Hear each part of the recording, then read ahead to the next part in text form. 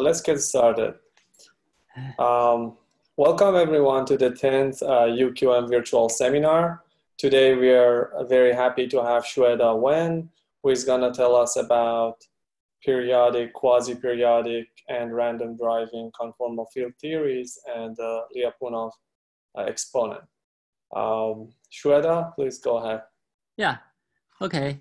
Yeah, yeah, thank Hassan. Yeah, first I hope everyone is doing good at home. so uh, today, uh, yeah, I will introduce some uh, very simple story on some non-equilibrium uh, driving system.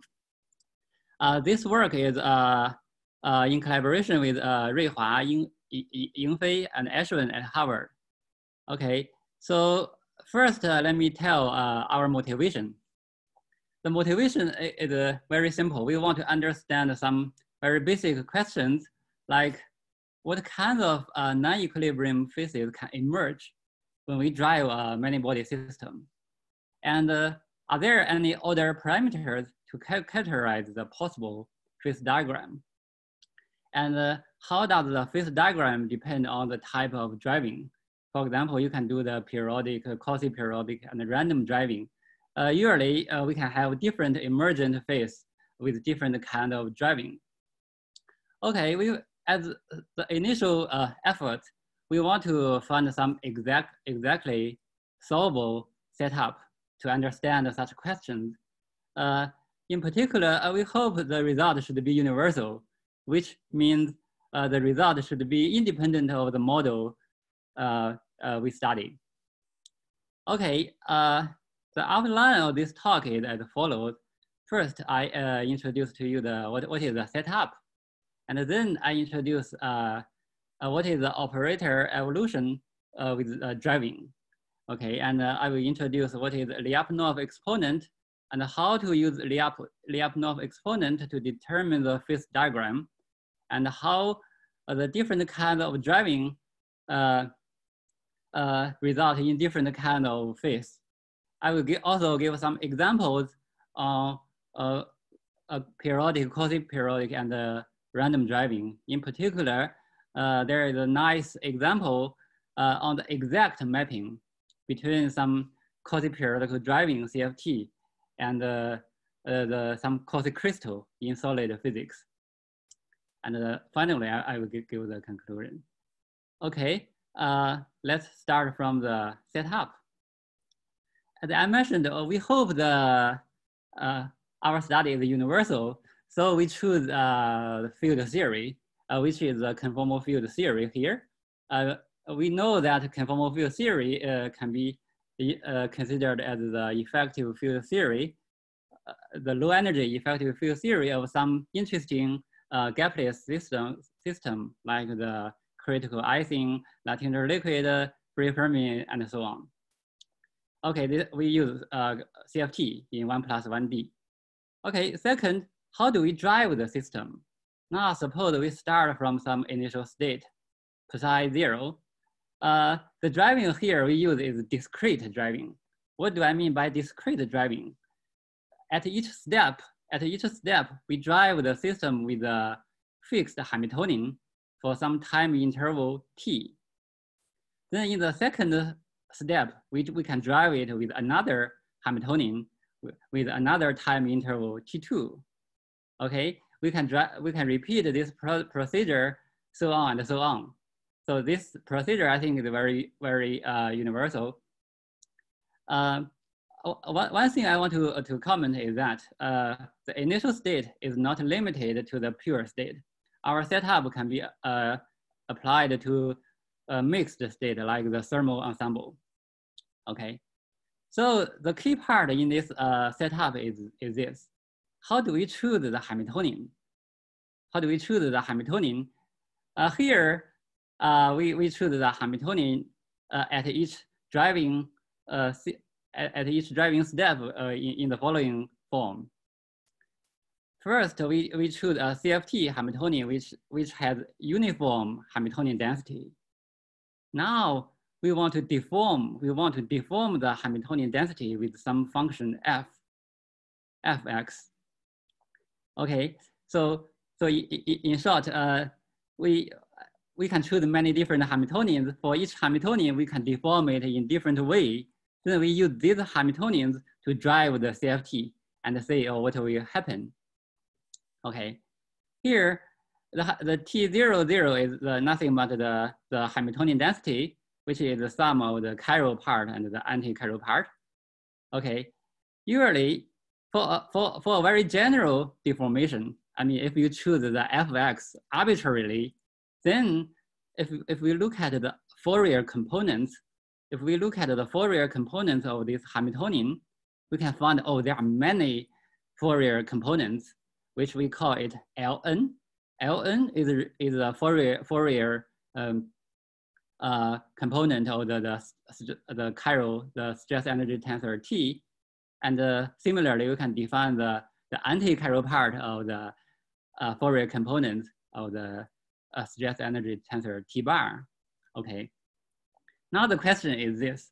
If you choose the deformation fx arbitrarily, this question will be very challenging, will very challenging. Because why this is challenging? Because these Fourier components Ln, they satisfy, they, satisfy some algebra, which is called Virasoro algebra. So yeah, the, the, the, relation among the generators of Ln uh, is this. This is the well-known Virasoro algebra in CFT. This algebra is infinite dimensional. This is why it's hard to, to, to study because it's infinite dimensional. If you use this generator to drive the system, I don't know how to calculate it uh, uh, exactly. So our trick, our trick here is no, we will not consider a general deformation. We will simply, we will simply focus on a very simple case in the following sense. First, we know that there is a sub-algebra of this Virasoro algebra, which is called SL2R algebra, which means if you choose M and N in this way, M equals minus N, you can find, oh, this algebra is closed it is also finite dimensional. Uh, because uh, what I mean by closed is this algebra is only generated by three generators, L0, L plus n, and minus n. This algebra is finite dimensional. Good. So then you may ask, oh, what kind of deformation of the Hamiltonian corresponding to this uh, subalgebra? Uh, the answer is this if we deform the Hamiltonian density with such kind of function fx, you can find that there's a constant, there's a cosine term, there's a sine term with arbitrary coefficient. Okay, this is, if we deform the Hamiltonian in this way, so the only algebra involved in this problem is the SL2R algebra. And then we can handle this question by hand, okay? I think now the, the, the, uh, the setup is clear. We simply deform the Hamiltonian with some simple function. So only a finite algebra is involved. We can solve this problem by hand for arbitrary kind of driving. So why this kind of deformation is simple? The reason is very, uh, the very, the, the reason is uh, as follows. If we deform the Hamiltonian with this SL2R algebra, you can find in the Heisenberg picture, if we study how the operator O evolve under the, the Hamiltonian, under the unitary evolution, you can find, oh, the operator O uh, Z, Z bar is evolved to operator O Z nu, Z nu bar. There is a simple relation between Z nu and uh, Z the, the, the relation is, is simply a Mobius transformation. This is simply called the uh, Mobius transformation. Okay, now you have, you have I think you, you are more clear why I choose this kind of deformation because under this deformation, the operator evolve in a very simple way. Only uh, as Mobius transformation is, is involved. Now, let's go go one more step further, if we drive the system with a theory, with, with a sequence of Hamiltonians, what will happen? And this operator will, will, will simply evolve from z, z bar to some uh, position zn and zn bar. So zn is related with the original position z through a, a, a, match, a product of SL2 matrix.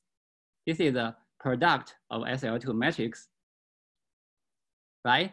This means, oh, when you drive the operator for arbitrary long sequence, finally the position of the operator is simply related with ori original value through a product of matrix. So what, what is this? Now I want to remind you of what we learned in solid physics. Okay, um, uh, before I mention what, uh, what happened in solid physics, let, let's uh, make one more comment. Uh, this, this SL2 matrix here has the general form uh, um, uh, here. So each matrix element can be some complex number. So this matrix is SL2C matrix. More precisely, it is SU1, comma 1. This matrix is isomorphic to SL2R. Yeah, this is some, simply some uh, uh, mathematical uh, facts. Now let, let, let me remind you uh, what, what, what, what kind of similar things we, we, we, we see in the solid physics. In solid physics, when we studied a tight binding model, we, we use the transfer matrix.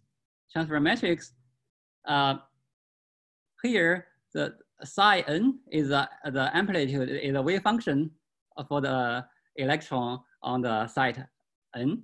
And Vn here is some on-site chemical potential. And uh, when we solve this uh, um, Hamiltonian, or we solve this Schrodinger equation, we simply do the transfer matrix. So what is the transfer matrix? Suppose we know the, the wave function at site uh, one and two.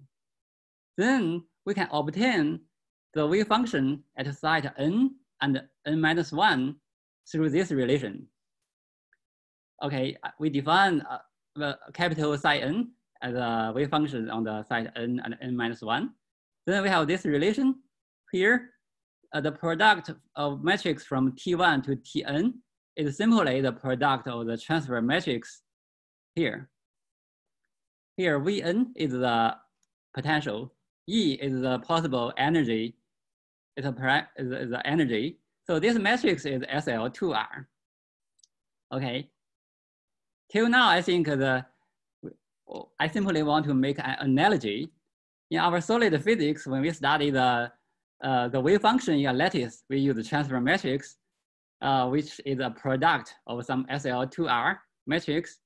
And here, when we study the CFT, the time-dependent driving CFT, we also consider a product, we also consider a product of matrix, which, which is SU1, comma 1. You can see the structure is very similar, right? Actually, although the concrete form of the matrix look quite different, we will see many similar properties between the two different models. Okay, good. Now let me mention some correspondence first before before we study the, the, the concrete concrete model. Okay. So once we usually once we see the product of matrix, we can define the Lyapunov exponent in the following way. Now we we we uh, we multiply n matrix, then we take the log of the the matrix product. Here is the the norm Usually for the normal the matrix, you can choose, you can use different definitions, but here, different definitions is not essential here. Okay, the Lyapunov exponent is defined by one over n log of this matrix product, taking norm here. And we take n go to infinity. Okay, usually you, you, you ask, oh, how, uh, why this Lyapunov exponent is useful? Okay, why it's useful?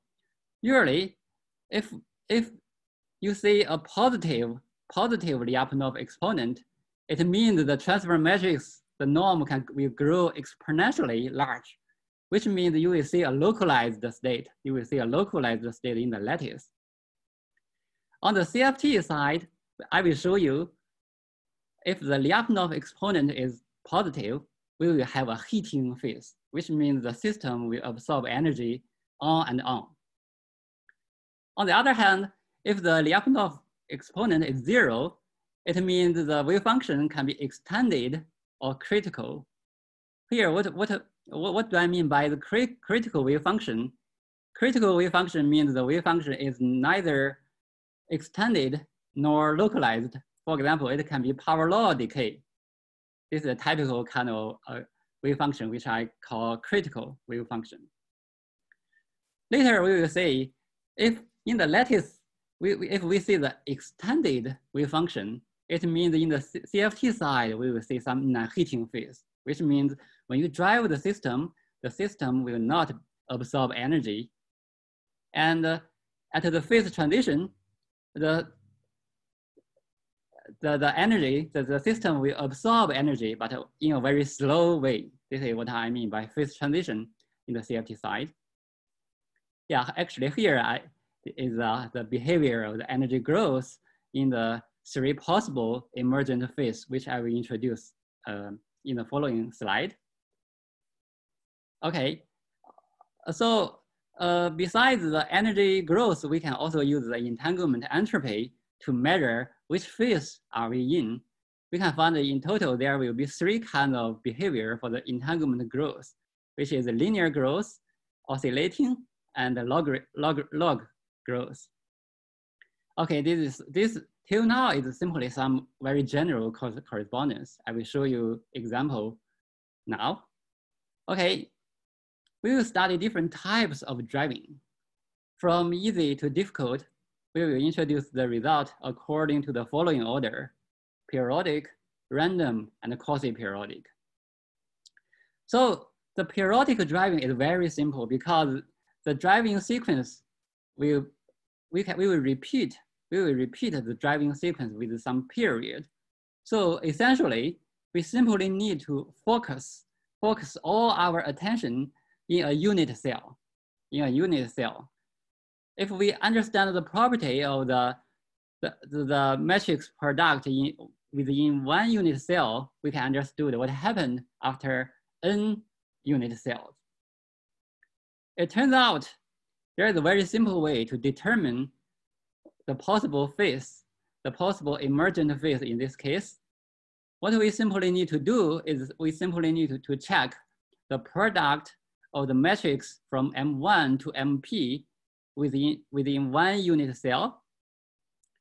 The only quantity we need to check is the trace, is the trace of this matrix product. If the absolute value of this trace, we call the product as uh, pi p if the absolute value of this trace pi p is bigger than two, we will have a positive Lyapunov exponent. The, the CFT will be in the heating phase. If this quantity is smaller than two, we will have some non-heating phase. The system will not absorb energy. If this value equals two, it means it is the, the CFT will be at some phase transition. How to understand this result? Now let me remind you what happened in transfer matrix. When we studied transfer matrix in lattice model, if the trace of this pi p uh, is uh, the absolute value is smaller than two, it means the energy E is in the energy spectrum and the wave function is extended. If you choose some other energy E, so the, the, the trace Oh, so this quantity is bigger than two. It means E, the energy is not in the is not in the spectrum, but in the gap. And in this case, the wave function will be localized. Okay, there, there is some in, in intuition in the lattice system. Now I, I will give you an example on the minimal, minimal setup of periodical driving CFT. We simply drive the system with two different Hamiltonians we call H1 and H0. So we, we drive the system with H1 for time interval T1 and drive it with time, uh, drive with Hamiltonian H0 for time T0. Okay, the Hamiltonian deformation H1, we simply choose it, uh, for example, uh, with this form. Okay, there the parameter a theta. When we tune theta, it can have different deformation. Okay, now if we drive the CFT with these two different Hamiltonians, if we, we use the criterion uh, here, we can find, we can determine the phase diagram. Here, I, I simply choose different kind of deformation. We can have, we can have some rich phase diagram. The blue region is a non-heating phase, and the red region is the heating phase.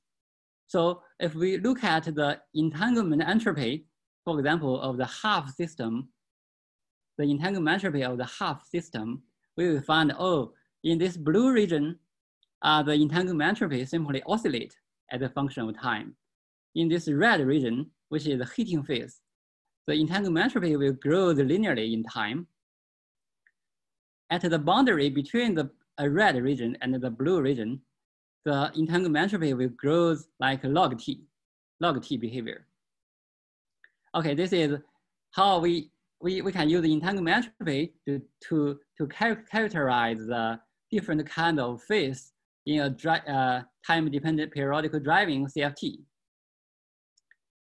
Okay, later we found, oh, there is some very interesting fine structure uh, within the phase, within each phase of the phase diagram. What we found is follows as follows. If the CFT is in the heating phase, in the heating phase, oh, we found that the, the, the CFT will absorb, the system will absorb energy exponentially in time. But then the question is this, if the, if the energy is uniformly distribute, distributed in the system or not. Oh, what's amazing is that we found the energy density, there are in the, this is the real space, uh, the y-axis is uh, energy density. We, what we found is, oh, there are two energy peaks within the, within the heating phase. What's more interesting, one, one peak, one peak is chiral, the other peak is anti-chiral. What I mean is, so suppose we stop driving the system, then y peak, this peak will move rightward, and this, this peak will move left. We have two, we have, we have one chiral peak and one anti-chiral peak. What's more interesting is that the total, the, the, the total, the entanglement entropy in the system is mainly contributed by the entanglement between the two peaks, which means as I mentioned, in the heating phase, the entanglement entropy here will grow the linearly in time. All the contribution of this entanglement entropy here is contributed by the two peaks, one chiral and the other is anti-chiral. This is quite amazing because I think if we, if we, we can study the ADS CFT duality, what is the possible structure in the, in the gravity do? It is possible we have some wormhole connect connecting the two the two peaks in the real space, but we, we don't know. Yeah. So what I want to say is that in the heating phase of the uh, driving CFT, there are some there are many interesting structures in the in the energy density distribution. Okay, till now, this is the minimal setup of the per, period, periodic driving CFT. Next, I will go to the random, random driving, random driving CFT. For random driving CFT, so what happened, uh, we, we want to find some analogy in lattice, right?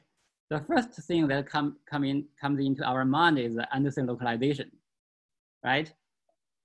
I think all, we, all of us know the Anderson localization.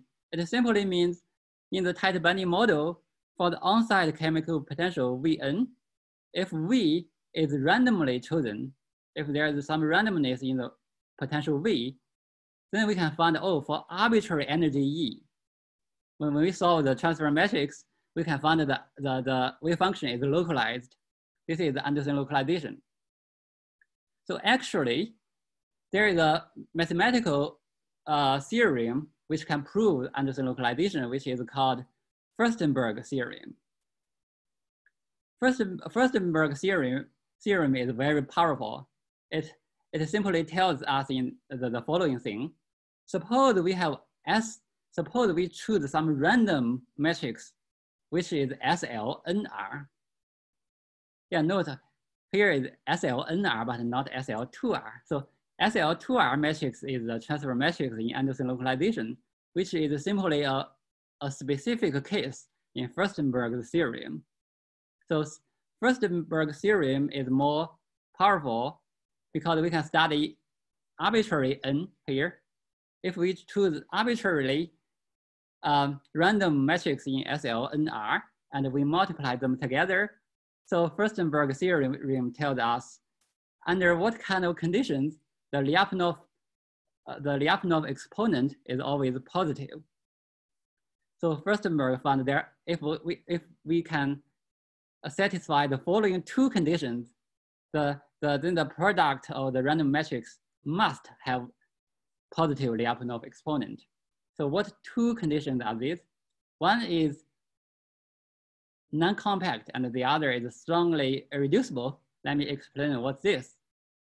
Suppose we choose the random matrix and uh, suppose G, G mu, G mu is the smallest subgroup which, con which contains the random matrix you choose. So this, this, this smallest subgroup must be non-compact. This is condition one. And second, we should have for arbitrary subgroup of this G mu. For each subgroup, it should be irreducible. This means strongly irreducible.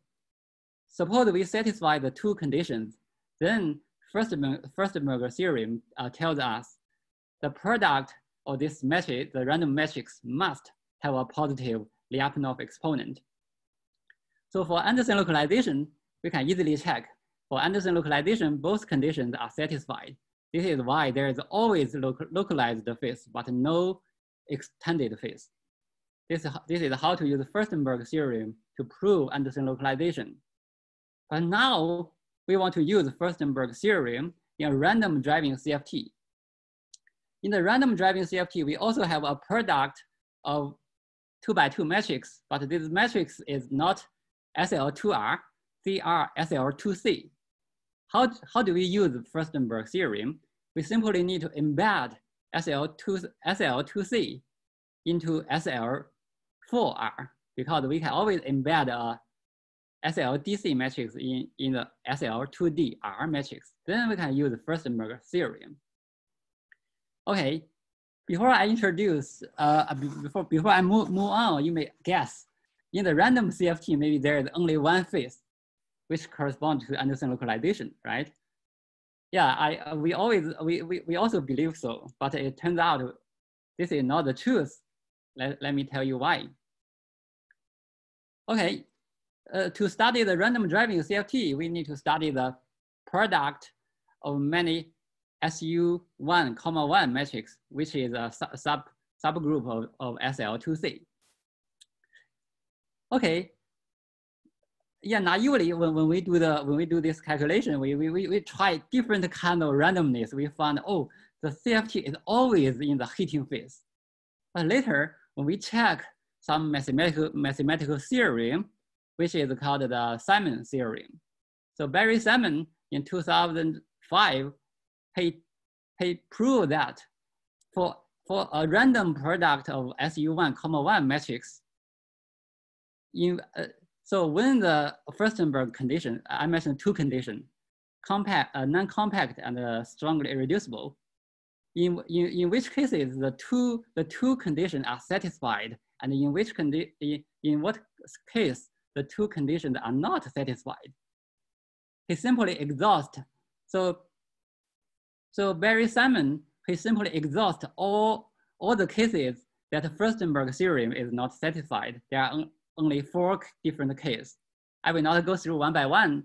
I will simply tell, what I simply want to tell is that when we go through the four different cases, we find, oh, when our uh, random driving CFT, uh, when we choose the, the Hamiltonian H0 and H1 in, in some specific case, the Furstenberg theorem does not satisfy, which means there's no, the Anderson localization, we cannot naively consider there is always localization in the random driving CFT. There are some except, exceptional points where the random driving CFT will not be heated up.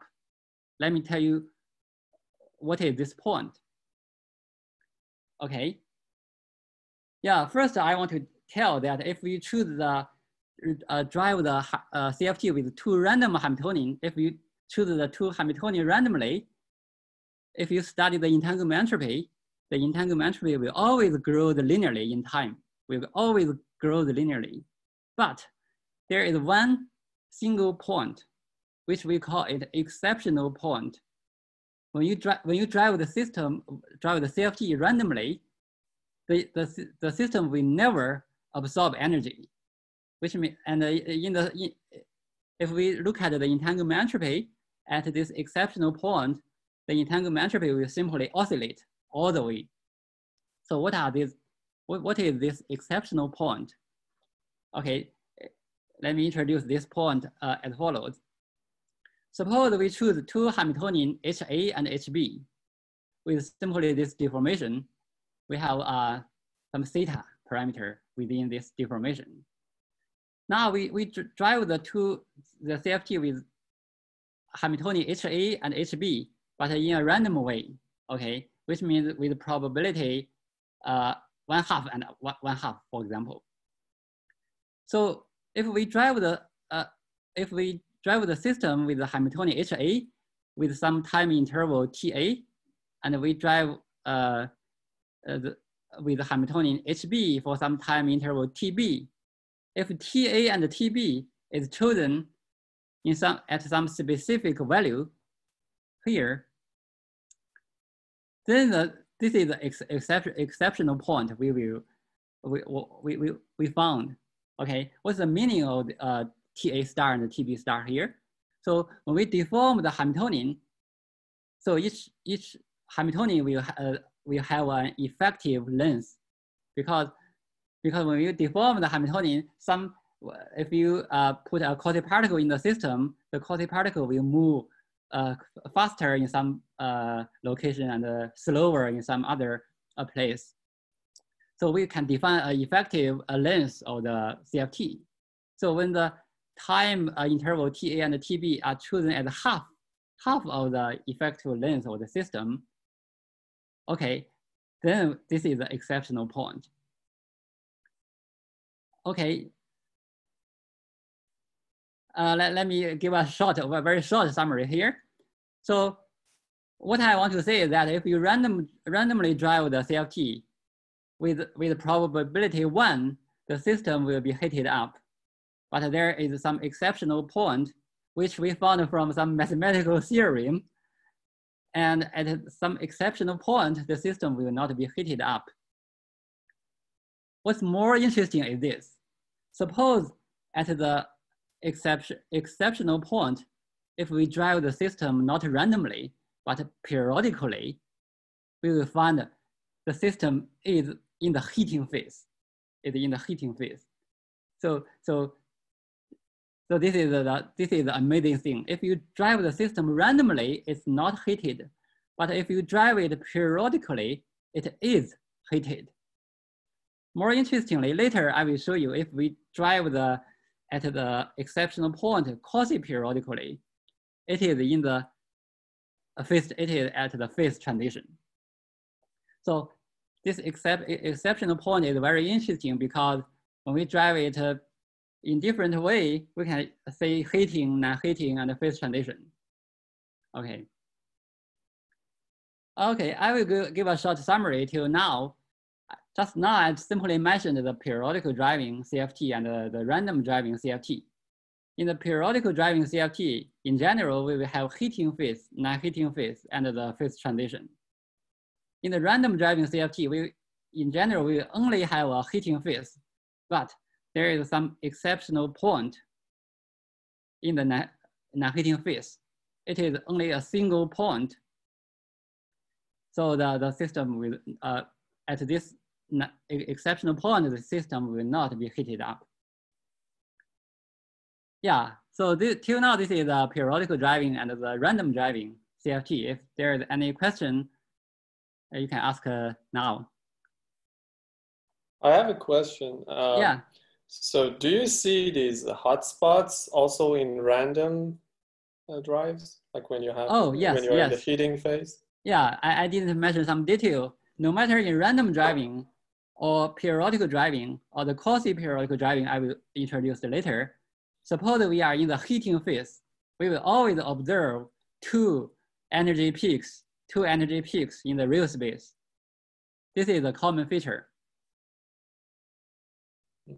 But uh, I thought this is a stroboscopic, uh, stroboscopic uh, measurement, right? Yes, you are right. So how do you define a stroboscopic measurement uh, for the random drive? I thought your period, there's no period anymore. Oh, good. Uh, yeah, yeah. This is, in random driving, in general, I, you will always see the, the, the, the two peaks, two energy density peaks. But uh, in random driving, in general, the position of the two peaks will move can move in the in the in the system. They are not fixed. In the periodical driving, the the two energy peaks will will not move. They are they are always fixed when when you observe the system as, in the integer time of driving. So does this uh, answer Thanks. answer your question? Yes, thank you. Okay, good. So any other other question? Okay, now, uh, just now, I, I, simply mentioned to you that what happened in a periodical driving and a random driving CFT. Next, I want to tell what happened for the quasi-periodical driving. Okay, for quasi-periodical driving, there are many interesting models. The most beautiful one, in my opinion, is a Fibonacci, Fibonacci quasi-crystal in 1D. So what is this model? Again, we have this tight binding model, but potential V, potential V is not periodical and it's also not uh, random, but the potential has some sequence like AB, AAB, some sequence here. You may ask, oh, why this sequence of uh, AB, AAB is called quasi-periodic? So the reason is how to generate this sequence of on-site uh, chemical potential the way to generate is use irrational rotation, which, which simply means, okay, we, we rotate the, uh, uh, some function with frequency omega, and the time is the integer n. n is actually the, the site, the number of the site n. So when, when you rotate, you rotate the, the, the, the variable. If the variable in, in region A, we will, we will choose the, the potential at VA. If the variable is in region B, we will choose the potential as VB. This is the way we, we, we define some quasi, uh, uh, some Fibonacci sequence. We simply use some irrational, irrational uh, rotation. Suppose we choose, actually here, this frequency omega is the inverse of the golden ratio. This is why it's called Fibonacci, Fibonacci sequence. If you choose this omega as some rational number, we will always get a periodic, periodic sequence. There, there are different ways of uh, generating this Fibonacci sequence, but this one, this irrational rotation is the most intuitive, intuitive way. So I, I will, there are some other method I will not uh, introduce. Then you will ask, oh, how do people study the property of this Fibonacci quasi-crystal? Okay, in the early paper of this uh, area, people cannot study this Fibonacci quasi-crystal strictly, but people can study the Fibonacci quasi-crystal by using the by using the periodical one to, to approaching to approaching the Fibonacci limit. What do I mean? Now, as I mentioned, the frequency omega is the inverse of the golden, golden ratio. Now, if we choose omega as fn minus one here, fn minus one over fn, fn is the Fibonacci number. If n goes to infinity, we will approach the Fibonacci limit. For finite n, we will always get some rational, rational number omega, and the, the, the, the the crystal is not a quasi crystal, but a crystal. Then we can, we can people simply take, take n from smaller number to the larger and larger number and look at how, how the energy spectrum of the quasi crystal evolve as, as we increase the number n. What people find is, is very interesting. As we approach the Fibonacci limit, we can find there are more and more energy bands. Yeah, um, we will finally we will have infinite energy band, but the band the bandwidth of each energy, the band bandwidth of the in the energy spectrum, will become the smaller and smaller. So this is how people studied the Fibonacci quasi crystal in practice.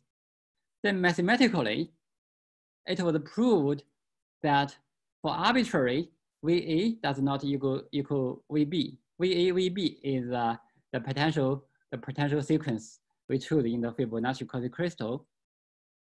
For arbitrary choice of a potential, the spectrum is a Cantor set of zero measure.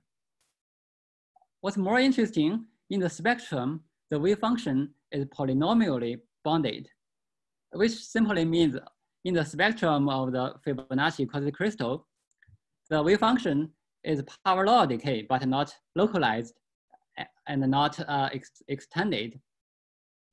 Then we will ask what happens for a quasi-periodical driving CFT. Okay, before any mathematical study, let, let's, let's simply uh, check uh, use, use, using the, let, us simply use the same logic in the uh, quasi crystal.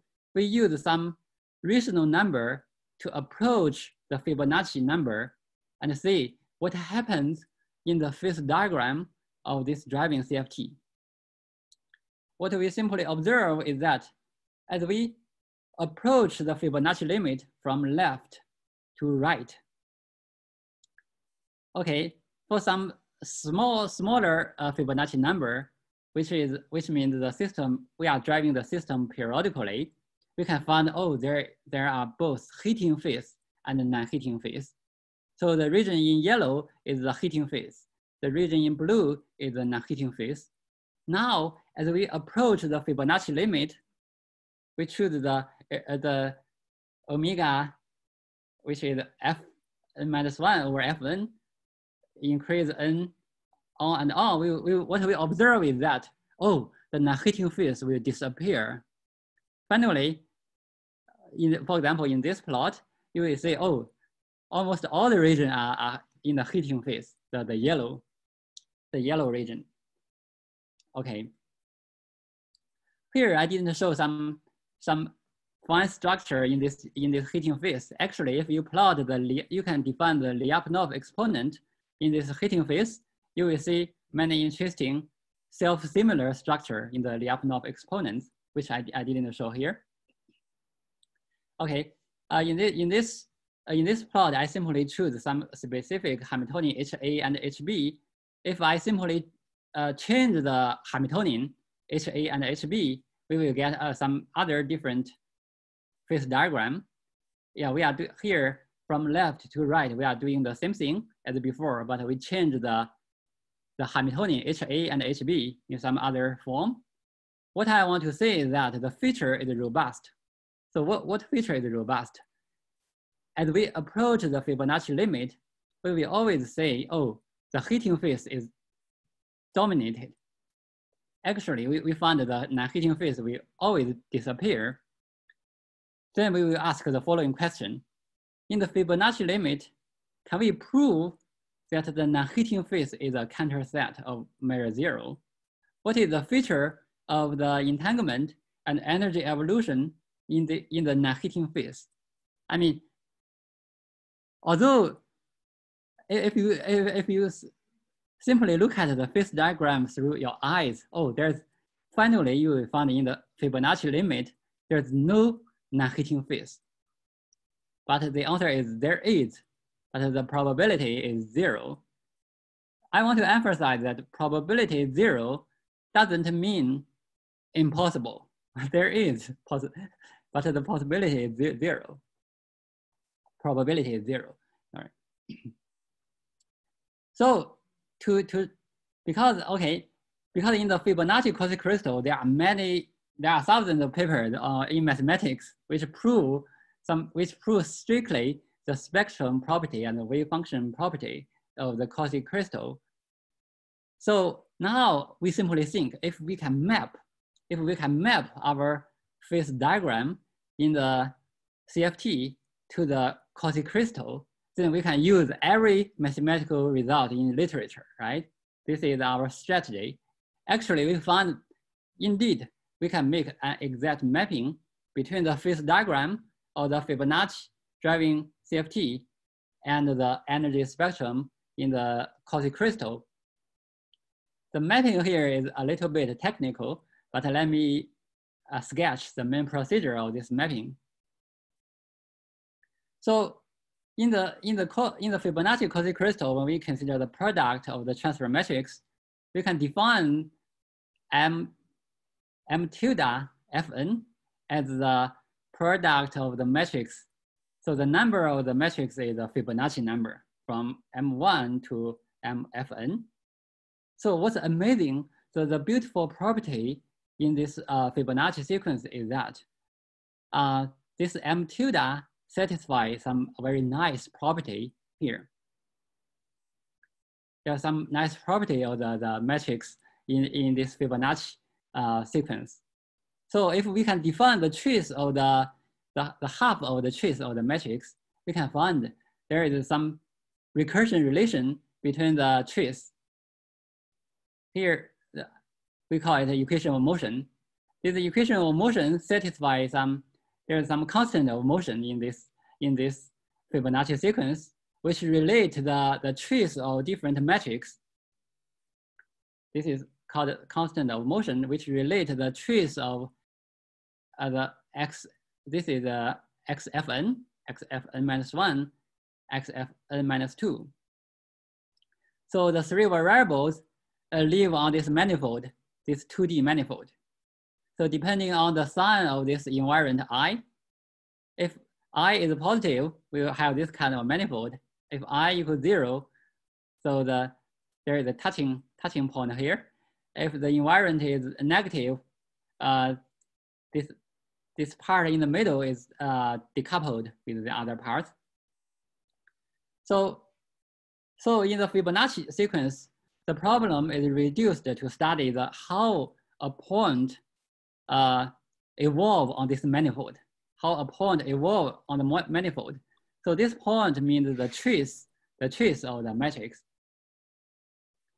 Because that uh, uh, yes. sorry to interrupt. Your time is uh, almost over, so you want to wrap up. okay, fine, fine, fine. Yeah.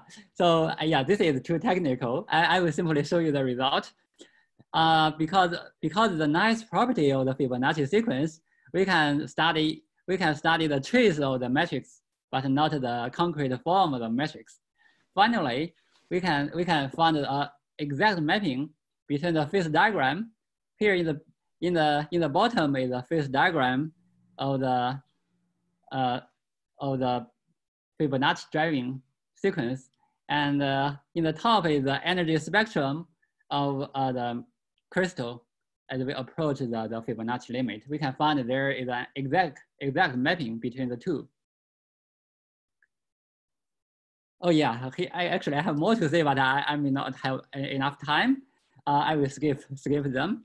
Uh, in this slide and the next one, I simply want to say the in the Fibonacci driving CFT in the non-heating phase, the, the entanglement entropy will grow a lot log as a log of time and the energy will grow the power, power law in time. This is similar to the behavior of the wave function in the Fibonacci quasi-crystal. Yeah, one more comment. Uh, actually, we, we, we study um, a different kind of uh, quasi-periodic driving. Uh, we also study something called Aubry-Andre uh, quasi-periodic driving. Here is some uh, phase diagram I don't have time, time to show, sorry. Okay, I think I, till now we have found some partial answer to our motivation at the very beginning. That is what kind of non-equilibrium phases can emerge in the time-dependent driving many-body system. we have heating phase, non-heating phase, and phase transition.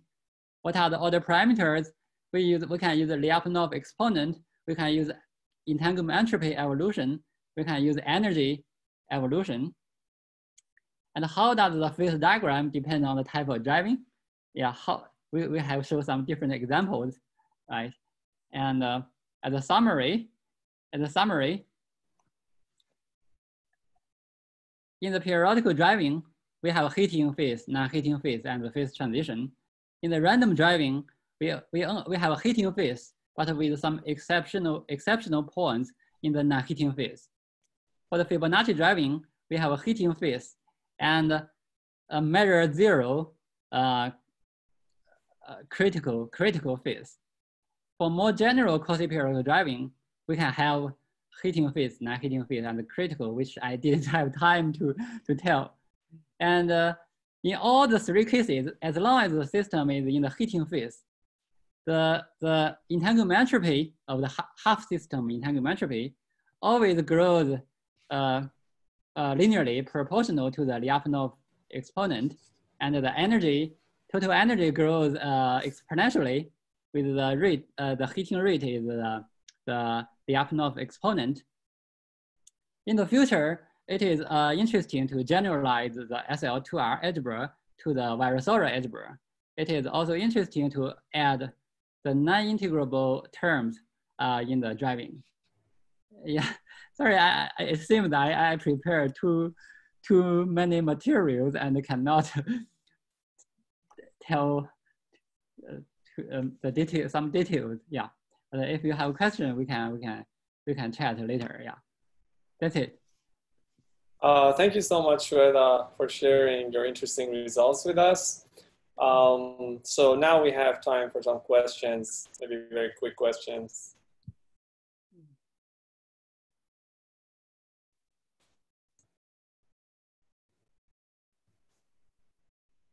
Maybe I I I present I, I tell the story too yeah very quickly and yeah maybe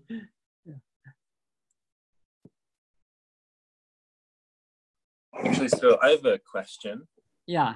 Um, so you have, uh, so you, so you make made some general statements about uh. about these phases, and then you showed us one one sort of yeah example using these the one quasi periodic example. Yeah. Um, yeah. So what I think you said somewhere along the lines, uh, something along the lines of this being uh, um, these results being general in some way. What what indication is there for that? Good. So what, what, what do I mean by general? As long as we drive the CFT use the SL2 algebra, mm. as long as you drive the system with SL2 algebra, all my conclusions here are, are true. okay, I see. So this was just one, so you've already worked out the general case. This was just to illustrate it. Uh, SL2, yeah, SL2R. Suppose mm. this, you know, the very interesting future question is in CFT, the, the, the the very basic uh, algebra is Virasoro algebra. Mm. So SL2R is the unique, is the, is the only sub-algebra of Virasoro algebra, which is simple here. The mm. next step we can, I mean, there's no other sub sub-algebra in Virasoro algebra. If we, if we want to move one step further, you need to go to the Virasoro algebra. That will be more interesting, I believe. Yeah. Okay, thank you. Yeah, you're welcome. I have also a quick comment about what you said. Uh, yeah. Um, I mean, because I'm also kind of working at this problem, kind of following you. Yeah, good. Um, yeah. I think I feel like there is some notion of rigidity here. Like even if you deform your SL2R a little bit, all these things are, all these claims are valid. I think. Oh, I mean, like, yeah. Okay, it doesn't have to be liter exactly. Maybe SL2R. I, I don't know. I feel like if you even like add more Fourier components, like uh, I don't know, maybe let's say you have L plus one minus one and L zero, and then you add I don't know L2 and L3, but the coefficients are small enough, right? Uh, then so that you're not kind of moving too far. It's like I don't know some attractive fixed point uh, or. Uh, yeah, yeah, yeah. Has some rigidity to some extent. I feel like, yeah, I don't know. Yeah, I don't know how to prove this uh, strictly, but uh, you know, in a physical way, usually if you add some perturbation, uh, yeah, it, it is totally possible that the feature, if you don't take a very long, very long time, I mean, if you, in some finite time, maybe the heating and non-heating structure is, uh, uh, is always there. But if you add the perturbation, but it takes some much longer time, maybe it will destroy some property here. Um, right. Yeah, for me, because I, I, in my opinion, if we add another gen Virasoro generator, L, L plus minus N, L plus minus M, uh -huh. we need to go to the Virasoro algebra. This, if I want to solve this problem problem exactly, this will, will be very, very challenging, very, very challenging. Yeah, maybe we can make some approximation, some good approximation, yeah, which I don't know. Yeah, maybe we can discuss on this later, yeah. Okay, yeah. yeah. All right, so if there is no other question, um, let's thank the speaker again and uh, thank you everyone for you know joining us today and uh, we'll have our next meeting in two weeks. So stay safe, everyone, and have a good day.